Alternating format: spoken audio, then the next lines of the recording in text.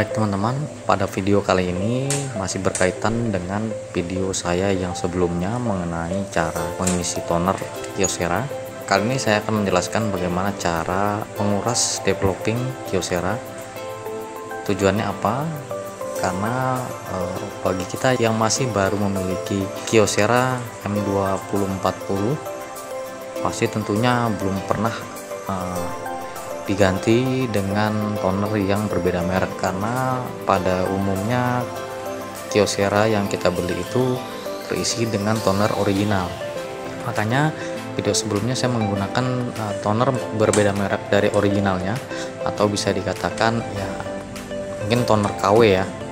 Nah dengan membersihkan atau menguras developing ini tujuannya agar bekas toner original tidak bercampur dengan toner baru yang berbeda merek. Yang dikhawatirkan akan mengganggu nanti hasil pencetakan atau proses fotokopian kita selanjutnya. Teman-teman sebelumnya mohon maaf ya videonya ini loncat-loncat. Uh, karena pengambilan di malam sebelumnya itu terjadi trouble pada kamera. Yang penting teman-teman dapat memahami semua isi video ini dari proses awal hingga selesai ya Baik, selanjutnya uh, kita lepas baut skrup yang ada di kanan dan kiri atas ini.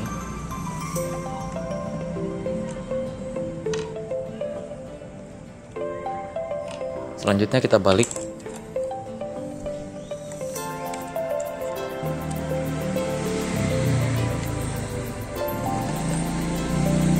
Nah, di situ ada tiga klip ya yang harus kita angkat. Tinggal diangkat aja. Nah, di situ klipnya kita angkat tetap berbunyi klik gitu ya. Terlepas. Hati-hati ya pelan-pelan saja karena ya takutnya ada resiko patah. Karena ini bahannya dari plastik ya. Jadi kita harus bukanya secara perlahan-lahan saja. Jangan terburu-buru.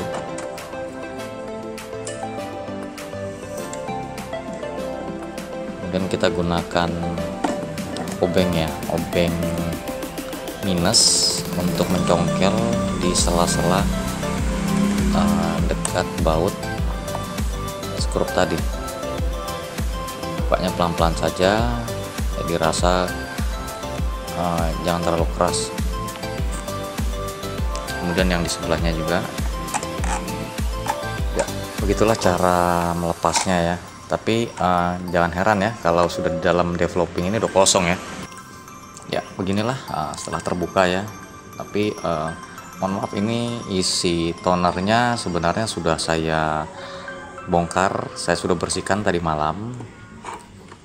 Sudah saya bersihkan ya kira-kira seperti ini cara membukanya. Walaupun ini uh, pembersihannya belum 100% bersih total ya tinggal kita uh, bersihkan lanjutan dengan menggunakan uh, semprotan ya.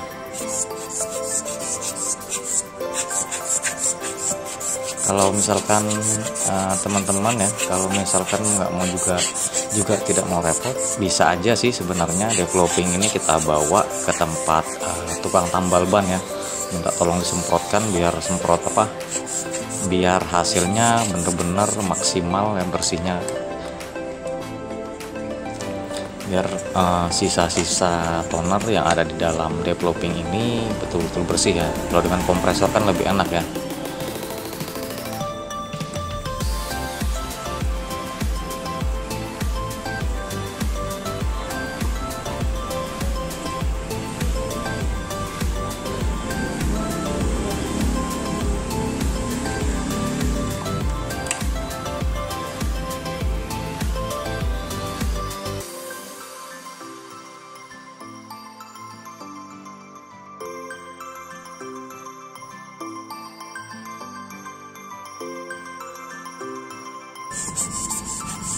selanjutnya kita putar lagi drum drumnya ya.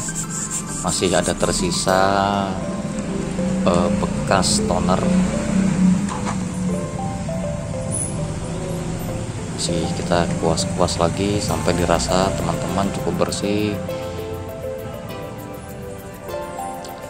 Tapi hati-hati ya teman-teman jangan sampai uh, drumnya itu lecet ya. Pelan-pelan saja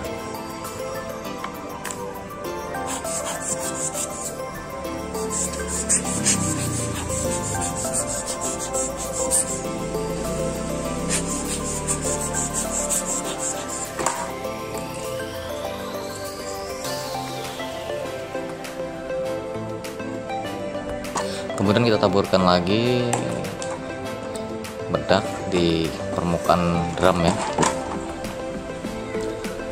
Kita ulang lagi sambil ya sisa-sisa bedak tadi yang ada di dalam developing kita bersihkan kembali.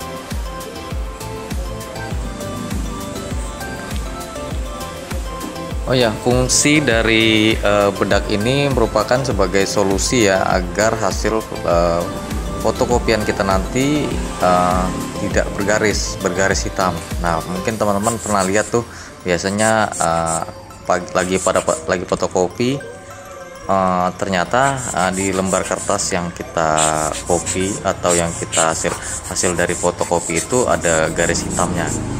Jadi dengan cara uh, menaburkan bedak secara merata di atas si permukaan drum ini tadi jadi uh, buat teman-teman nih misalkan ada uh, pada saat menggunakan mesin fotokopi Kyocera ini menghasilkan uh, hasil fotokopiannya itu mengalami uh, bergaris ya. Jadi coba aja ditaburkan uh, secara merata pada permukaan rem